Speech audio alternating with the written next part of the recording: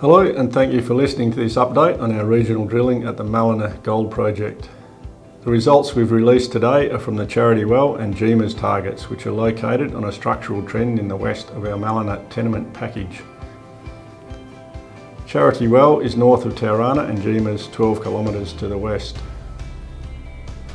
Toweranna was the first intrusion-hosted deposit discovered at Mallina and ultimately contributed to the discovery of Hemi. We've outlined a 524,000 ounce resource at Toweranna, most of which will fall into an open pit with around 60,000 ounces included in a higher grade underground resource. Toweranna is the largest deposit discovered outside of Hemi at Mallina to date. Charity Well and Geemas sit in a similar geological setting to Toweranna and our exploration strategy is targeted towards large-scale mineralised intrusions in favourable structural settings. Activity is just starting to ramp up in this western end of the project after ethnographic and archaeological surveys were completed with people from the Ngarluma community and De Grey over the second half of last year. This is the first time we've been able to complete drilling in this part of the tenement package since the discovery of Hemi, so we're looking forward to seeing what the next 12 months could produce. First pass air core and RC drilling has been completed, the results of which we're reporting today. Historic RAB drilling at Charity Well had outlined an intrusion over a strike of about 500 metres Air Aircore and RC drilling completed by De Grey has now doubled that prospective strike to one kilometre and confirmed mineralisation from near surface down to depths of around 300 metres. The figure shows structures extending through the Charity Well intrusion which link up with a Withnell trend to the northeast. RC drilling has been completed across six 200 metre space lines and further results are expected this quarter, including for 10 holes that have intersected the intrusion. Mineralisation remains open to the northeast and at depth. At the current 200 metre drill spacing, Toweranna would almost fit between these drill lines at Charity Well. The strongest mineralisation return to date has come from the easternmost line, drilled on section 593135 east, towards the interpreted centre of the intrusion, and we'll have a look at a cross section from this area now. Much like Toweranna, early indications are that gold mineralisation at Charity Well is hosted within intervals of predominantly shallow dipping quartz pyrite arsenopyrite veins within broad envelopes of strong sericite alteration in both the intrusion and adjacent sediments. As you can see in the cross section, we have mineralisation starting from as shallow as 10 metres, which was picked up in air core drilling and at further depth with RC holes.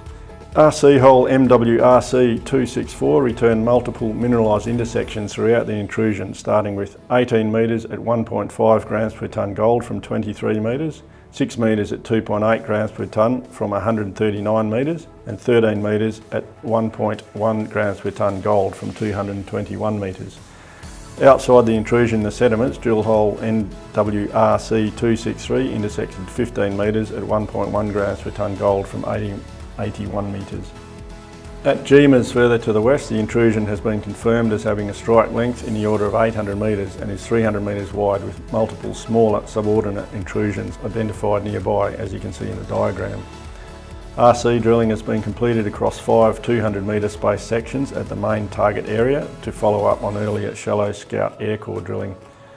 Mineralisation intersecting the RC to date at Geemas is narrower, but also hosted within intervals of predominantly shallow dipping quartz pyrite arsenopyrite veins within broader envelopes of strong sericite alteration in the target intrusion.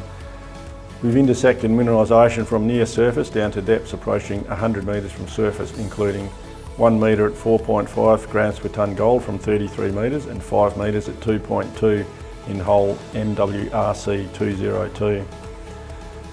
2 metres at 1.4 grams per tonne gold from 97, 97 metres in MWRC 204 and 2 metres at 1.81 grams per tonne gold from 70 metres in MWRC 205. Further drilling at Charity Well and Geemas is proposed for the second half of the year after all assay results have been returned and interpreted. Thanks Phil. We have now completed the resource definition drilling required for the mineral resource estimate update due in the June quarter geotechnical, metallurgical and hydrological drilling required for the pre-feasibility study due in the September quarter have also been completed. We utilised up to 16 rigs across the project in the March quarter and this has now been dropped back to 11 rigs.